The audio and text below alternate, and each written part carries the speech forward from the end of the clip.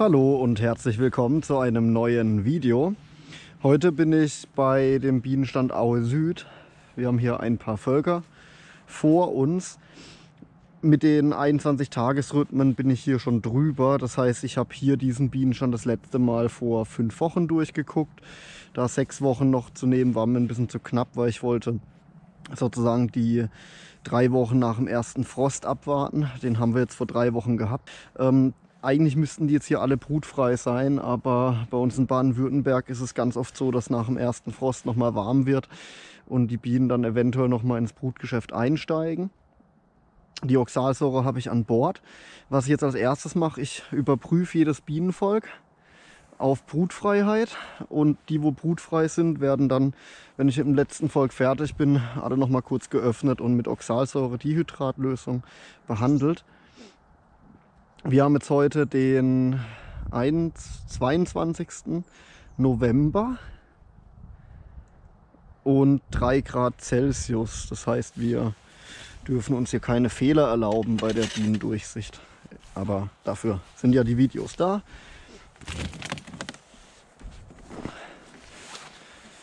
Wir fangen mit der Home Hive Einraumbeute an.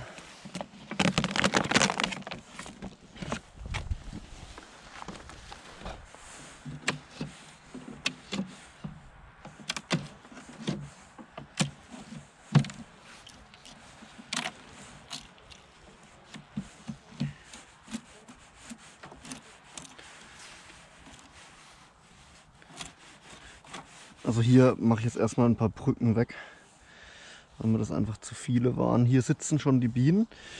Ähm, deswegen bleibe ich mal vorsichtig und näher mich an hier von der Hinterseite. Aber wenn ich hier vorne reingreife, da purzeln mir die Bienen ab. Deswegen mache ich das jetzt ein bisschen für die Bienen angenehmer, indem ich die von der Hinterseite anschaue. Also hier ist schon mal keine Brut sichtbar. Aber es war jetzt auch eben nicht die Zentralwabe. Wenn hier auf diesen zwei Zentralwaben auch keine Brut sichtbar ist, dann gehen wir davon mal stark aus, dass das ganze Bienenvolk brutfrei ist. Ja, wunderbar. Also das sieht doch hervorragend aus, dieses Volk. Schön. Ähm, nur muss ich jetzt tatsächlich noch mal hier in die Mitte gucken weil wenn Brut ist, dann ist die hier zwischendrin. Nein, brutfrei. Königin ist da, Brut ist weg. Ausgezeichnet.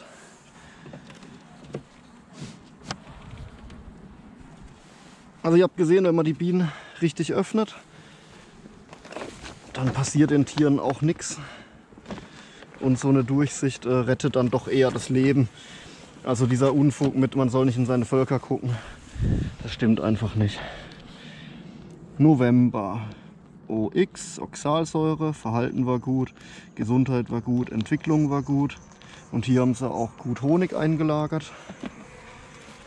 Wenn übrigens immer im Video so ein Bienenschwarm mal kurzzeitig auftaucht, das ist tatsächlich mein Handy. Und kein echter Bienenschwarm.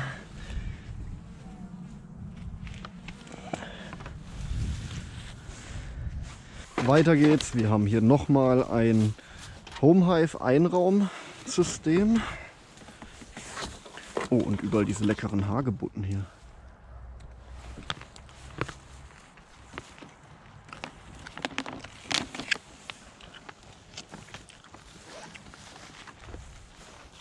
Hier sitzen die Bienen eher in der Richtung.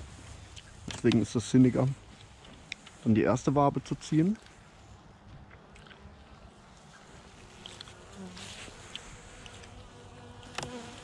Und dann gehen wir zentral auf die Herzwabe wieder los.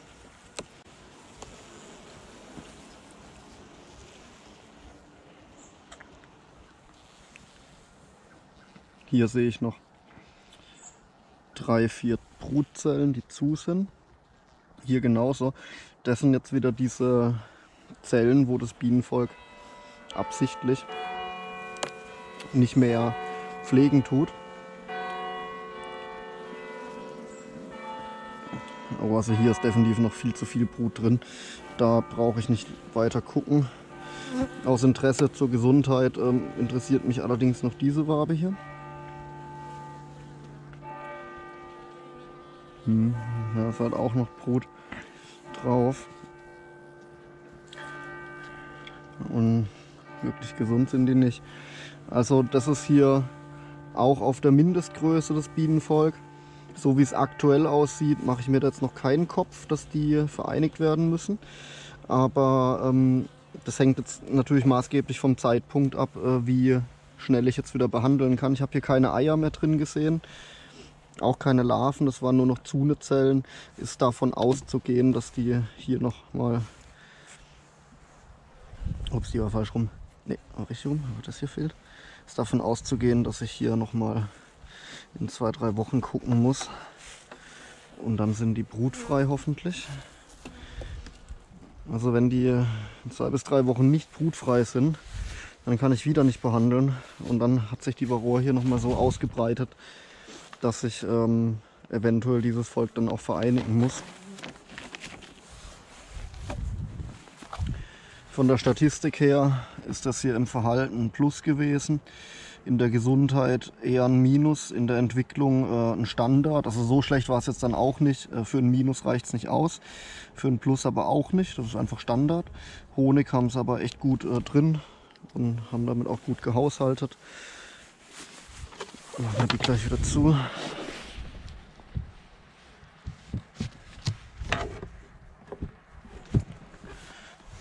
Und jetzt geht es weiter zu den Home Hive. Hier ist jetzt die Windel 14 Tage drin. Und für 14 Tage sieht es hier definitiv noch nach zu viel Milben aus.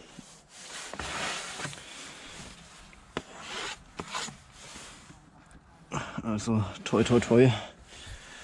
Bitte brutfrei. Wenn ich jetzt wieder zu zweit wäre, dann könnte einer die Kiste nach hinten anklappen. Wenn ich allein bin, muss ich die Kiste dann doch äh, absetzen. So viele Hände habe ich nicht. Okay, also hier brauche ich nicht gucken, da sind keine Bienen. Da sind aber Brücken, die machen wir weg, sonst könnte vielleicht die Oxalsäure später da stecken bleiben. Okay. Und das Bienenvolk sitzt hier kompakt unten drin. Ich sehe hier Leichenfall hält sich aber noch in Grenzen. Von der Volksmasse her sieht es erstmal klein aus, aber so ein Volk kann halt auch täuschen, speziell in meinem Homehive-System, weil die Bienen da wirklich sehr eng und sehr gut auf diesen Naturwarmen sitzen können. Und da muss man entweder von der Seite gucken, um die wahre Volksstärke abzuschätzen, oder eben Waben ziehen. Und äh, heieiei, kann ich nur sagen. Also groß genug das Bienenvolk hier. Schön, wow. Also das sieht mal stark nach Brutfreiheit aus. Zur Sicherheit lüpfe ich noch mal eine Wabe. Ich sehe die Königin. Die hat keinen Punkt mehr. Das sollte man sich aufschreiben, Königin ohne Punkt.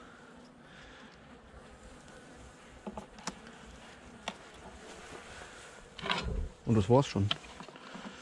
Hier kann ich gleich mit der Oxalsäure drüber. Gott sei Dank.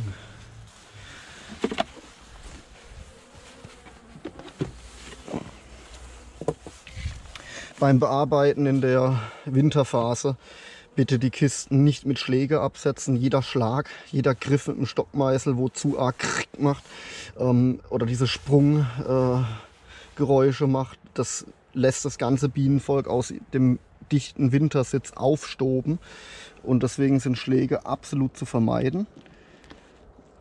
Also hier volle Punktzahl, ein wunderschönes Bienenvolk, wo 100% über den Winter kommt.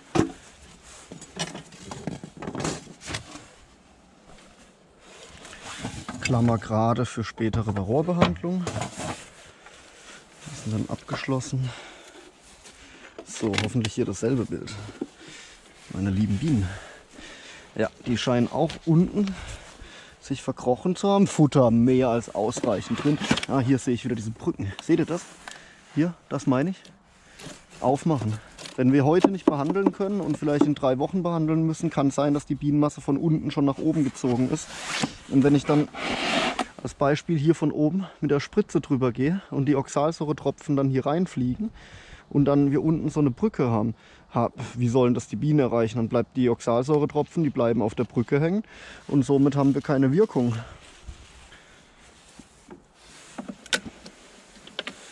Also hier ähnlicher Status wie da drüben. Die Bienen sitzen alle unten. Das sieht sehr gut aus. Da sind kaum Leichen. Von Milben her sieht es noch besser aus. Also das entspricht jetzt circa einer Milbe pro Tag. Und ähm, behandeln sollten wir auf jeden Fall, weil um die jetzige Jahreszeit heißt ja eine Milbe Totenfall pro Tag. Noch 500 lebendige Milben im Volk. Das ist natürlich zu viel.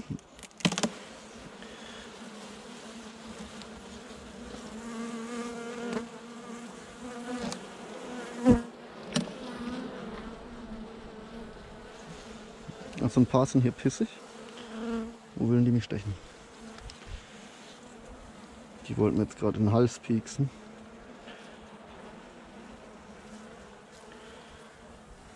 Wow.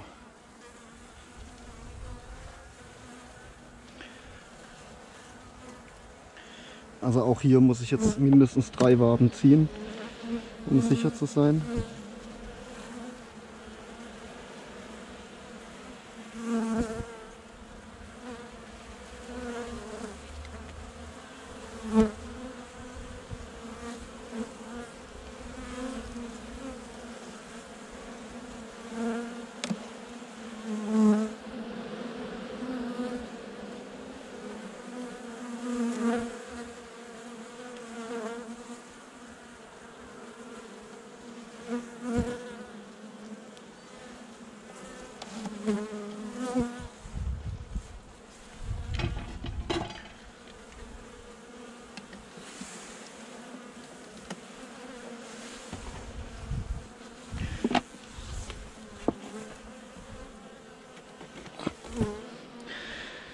Ein super starkes, ausgesprochen schönes Bienenvolk. Hat die volle Punktzahl verdient. Habt ihr gesehen, dass wenn Bienen mich angreifen, ich nicht zurückgehe mit meinen Fingern? Das möchte ich doch kurz hier innerhalb von dem Video euch mitgeben. Also das Ding ist, die Biene, in, also im, im Verstand der Biene, ist immer ein Objekt, wo anzugreifen ist, eigentlich in der Angriffsbewegung oder in der Wegziehbewegung. Und genau das reizt unsere Bienen, dann auf Attacke zu gehen.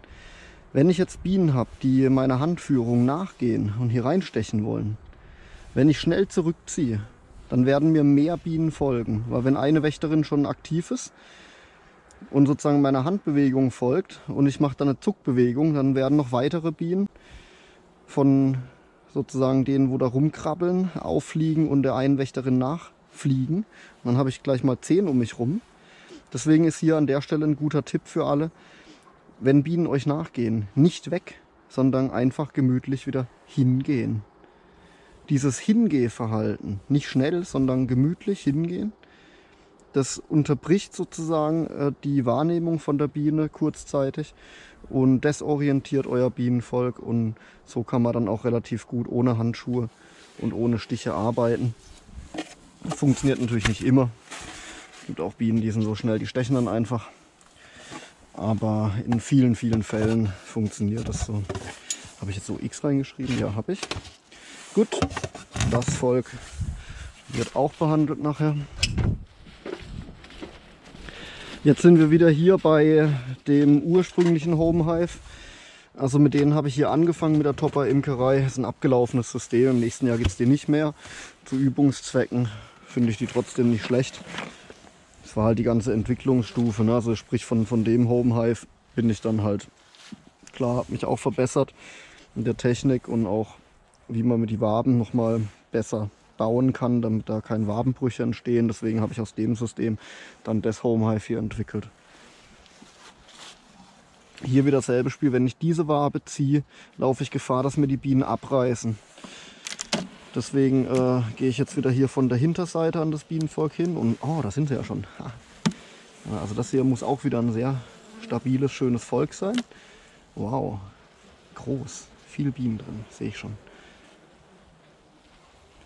Wow. Und wie angenehm die da drin sitzen. Also ich mag natürlich diese Bienenvölker, die dann ganz ruhig sind bei der Bearbeitung. Das Volk hinter mir, also das, wo gerade eben geöffnet worden ist, ist mir schon einen Tacken zu nervös. Das ist genetisch bedingt. Okay, also hier sehe ich noch Brut. Das sind noch wirklich ein paar einzelne Zellen.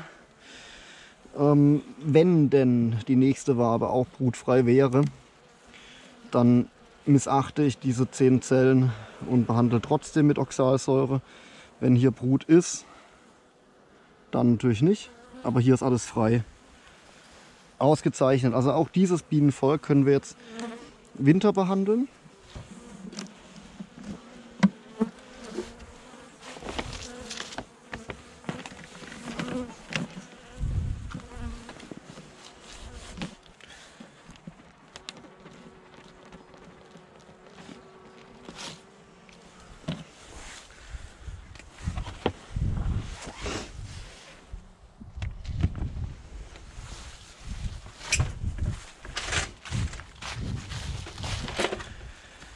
Das ist jetzt der Nachgänger vom ersten Home Hive. Das ist auch das Home Hive, wo wir so im Verkauf haben. Wer Interesse an dem Modell hat, der guckt mal über meine Webseite bivital.com auf die Spalte, ich glaube unter Info und dann Home Hive drücken. Und da ist mein Schreiner drin. Äh, die Störmühle, Schreinerei Störmühle. Und äh, mit denen arbeite ich zusammen. Also dort könnt ihr dieses Modell dann erwerben.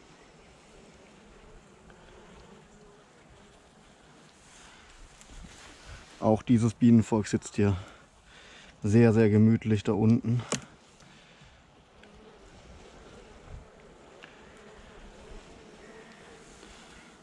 Ja, so mehr als mehr als ausreichend Bienenmasse drin. Das ist ein super starkes Volk hier auch. Und äh, auch die Futtermenge ist hier absolut ausreichend. Hier ist die Königin. Das Volk hier ist brutfrei und lässt sich dann auch behandeln. Ups. Also freut mich, dieser Bienenstand hier sieht bis jetzt ausgesprochen gut aus. Bis jetzt war da nur dieses eine Volk, ganz da hinten, das zweite war es. Das war hier dabei bei dem Bienenstand, wo ich nicht so zufrieden bin. Alles andere ist hier sehr gut und die kommen alle über den Winter. Ich zeige euch ja wieder das Video dann hier in, bei der nächsten Durchsicht. Die wäre bei dem Bienenstand in sechs Wochen. Ich mache allerdings eine kleine Ausnahme, weil da hinten ist ja das Volk, wo ich gesagt habe, das gucke ich mir in drei Wochen, zwei bis drei Wochen nochmal an, ob sie brutfrei jetzt endlich sind. Bei dem Volk habe ich schon, wo ich hier reingelaufen bin in das Grundstück, habe ich das schon sehen können, dass hier vor dem Flugloch sich Leichen getürmt haben. Das ist eigentlich nie ein gutes Zeichen. Vermutlich haben die einfach eine sehr starke Rohrbelastung noch. Das geht eigentlich bisschen erhöht, aber das ist auch eigentlich bei zwei Milben pro Tag circa. Ich meine, ihr seht, ich habe die jetzt auch nicht alle ausgezählt zu 100 Prozent. Ich ähm, muss aber auch an der Stelle sagen, ich habe, ähm, das hört sich jetzt sehr unwissenschaftlich an, aber so ist es nun mal. Ich habe äh, spirituelle Techniken gelernt, mit den Bienen zu fühlen und ich kann das schon so ein bisschen einfach fühlen, ob, ob die Bienen noch zu viel Milben oder zu wenig haben. Das sind einfach die Eindrücke, die ich da verarbeiten tue bei der Durchsicht. Und ähm, ich habe das jahrelang auch dann über die Wissenschaft nochmal überprüft, sozusagen mein Gefühl. Und wenn mein Gefühl, ob das Volk okay ist, immer kohärent war mit dem tatsächlichen wissenschaftlichen Wert der Milben, die runterfallen, dann besteht da natürlich eine Kohärenz. Und über viele Jahre als Berufsimker mit täglicher Bienenarbeit verlasse ich mich natürlich dann auch auf diese Wahrnehmung. Ich möchte allerdings deutlich sagen, dass man, wenn man mit Bienen anfängt und vielleicht auch für viele Menschen, die generell im Hobby Bienen halten, ich wirklich empfehle, ausschließlich über eine Gemülldiagnose zu imkern. Das heißt, wir behandeln genau in der Sekunde, wo wir eben über der Varroa-Schadschwelle schon sind.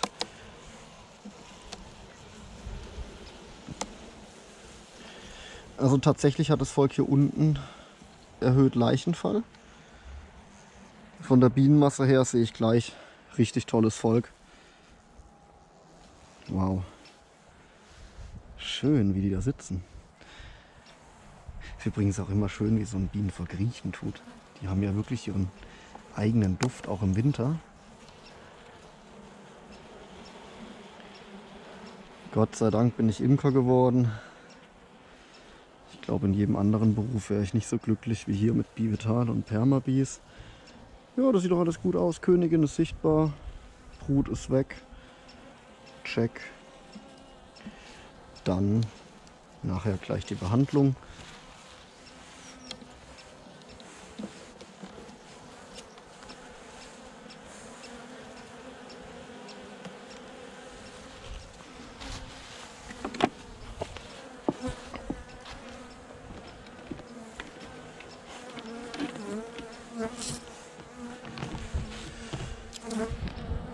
OX, ja genau hier, das war das Volk, wo leider die ähm, Stockkarte verloren hat, mehr oder weniger.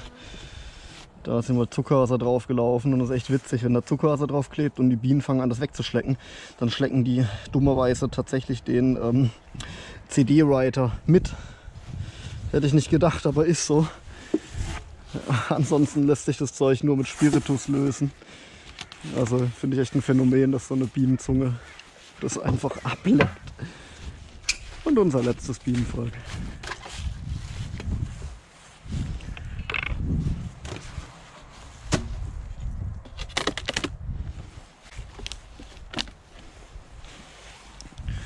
Schön. Die könnten jetzt hier schon teilweise oben sitzen. Ja, tun sie auch. Und hier sind wieder die Brücken. Also das ist genau das, was ich vorhin erzählt habe. Hier sind über dem Bienensitz diese Brücken und die verhindern mir den gezielten Oxalsäure-Einsatz. Auch hier erhöhter Leichenfall. Lass mal die Windel überprüfen. Oh ja, also das ist circa 3-4 Milben pro Tag. Das war jetzt doch ein bisschen mehr, aber so wie die Bienen hier drin sitzen, mache ich mir da tatsächlich erstmal gar keine Sorgen um Milben.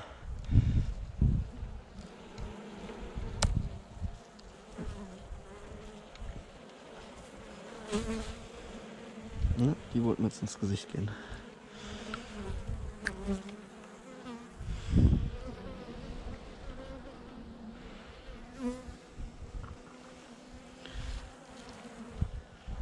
Auf der Seite brauche ich nicht mehr gucken.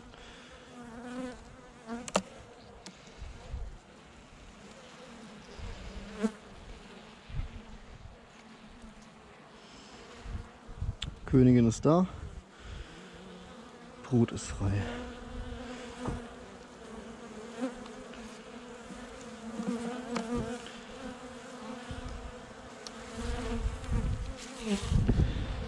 Tatsächlich mittelgroßes Volk. Noch alles gut. Wenn die weiterhin Bienenmasse verlieren, dann müssen die vereinigt werden.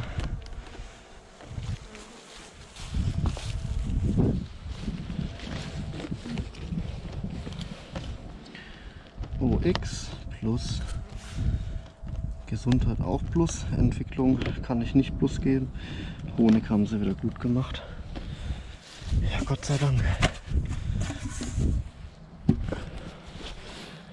Klammer, Seite. Okay, und dann geht es mit der Oxalsäurebehandlung weiter. Ich habe die extra im Auto gelassen, weil der Boden ist schon leicht angefroren. Und die Oxalsäure soll ja bitte immer lauwarm auf die Bienen appliziert werden.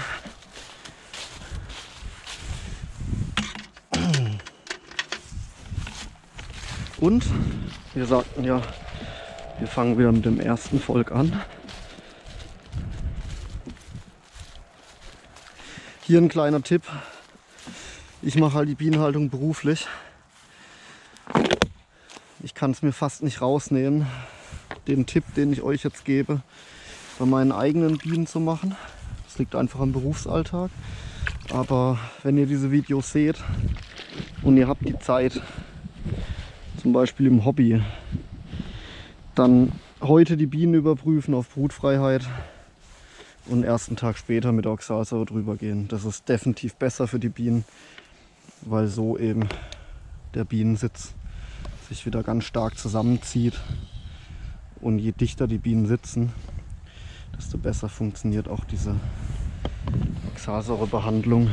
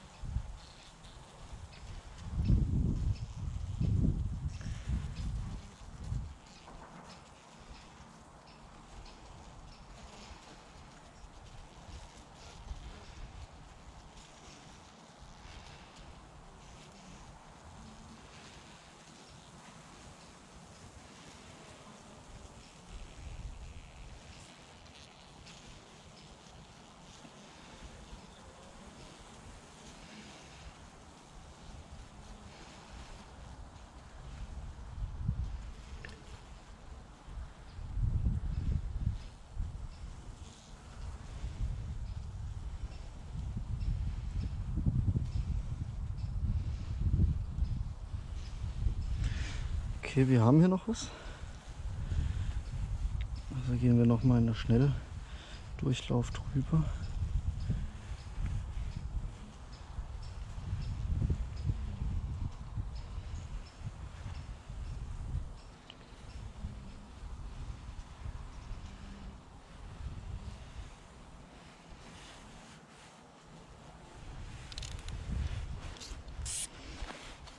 Ja, das war erfolgreich.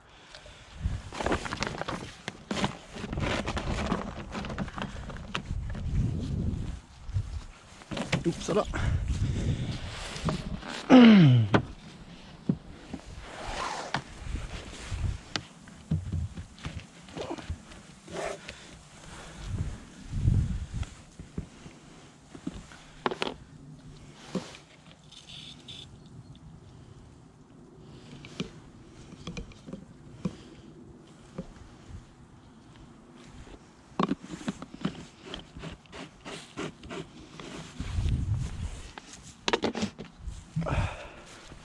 Das Volk überspringen wir. Hat ja noch Brut.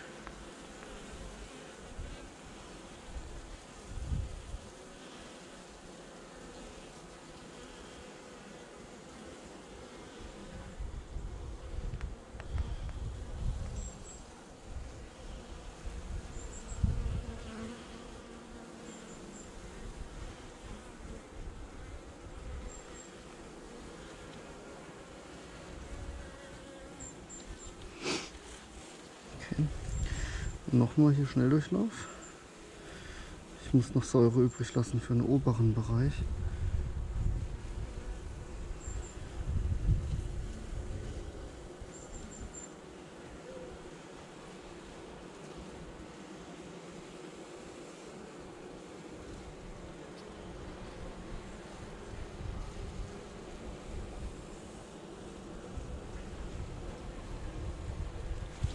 Oh, oh, sehr knapp. Das wird jetzt sehr knapp. Eventuell muss ich jetzt ein bisschen noch mal aufziehen. Ja, das muss ich. Aber nicht viel, noch mal zwei, drei Milliliter mehr.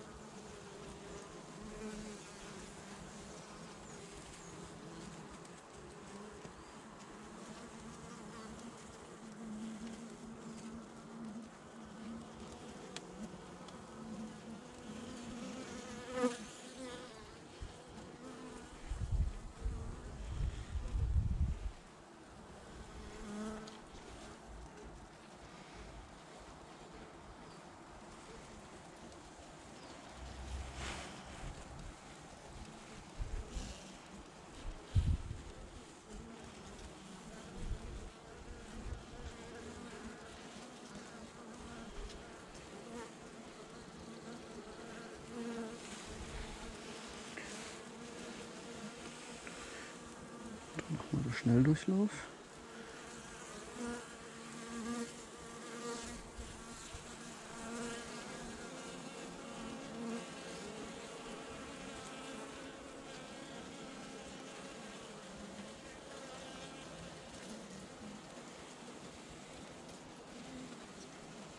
Gut, diesmal habe ich es besser einkalkuliert für die oberen Bienen.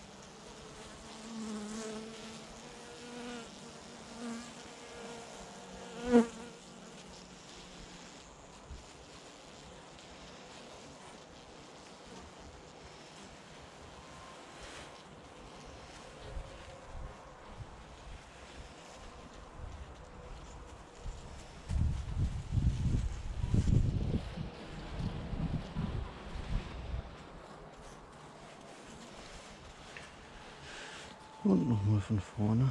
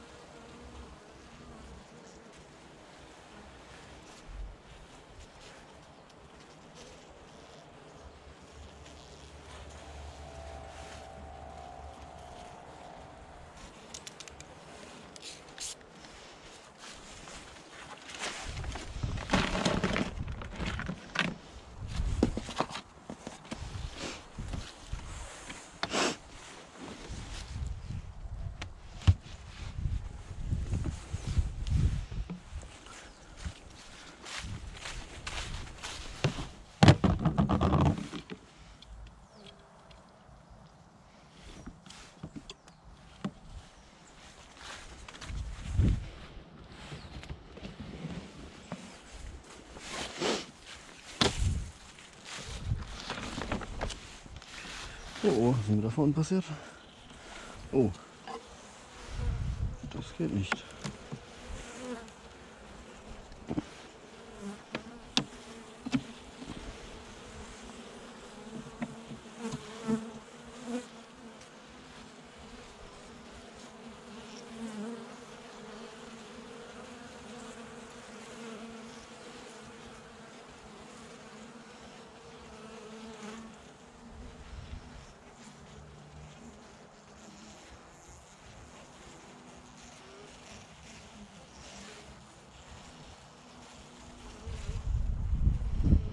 Guck, jetzt könnt ihr sehen, was ich mit den Brücken vorhin gemeint habe.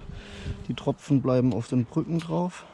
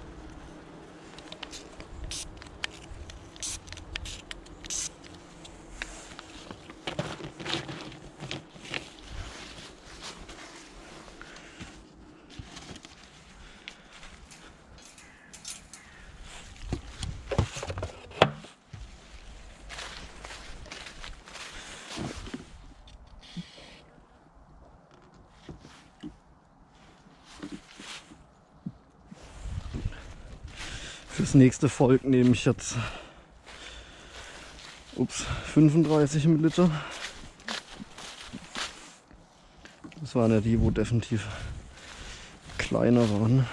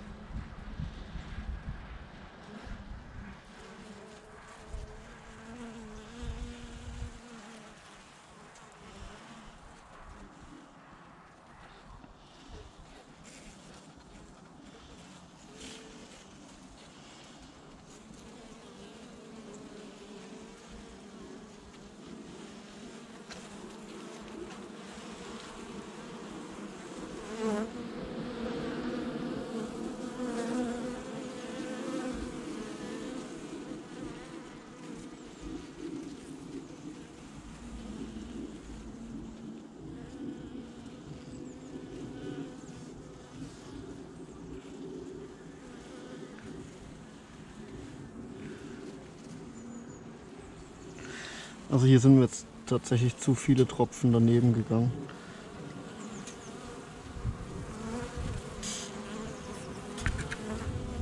Aber ihr seht, die kann man ja wieder zurückholen.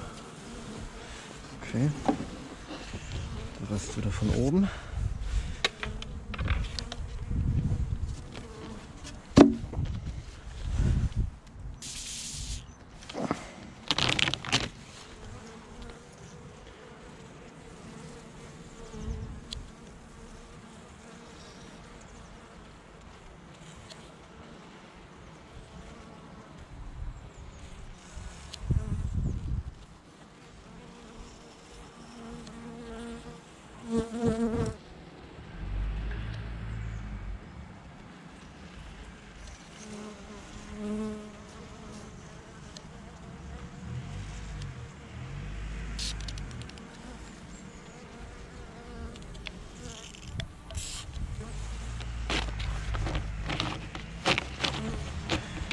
Super.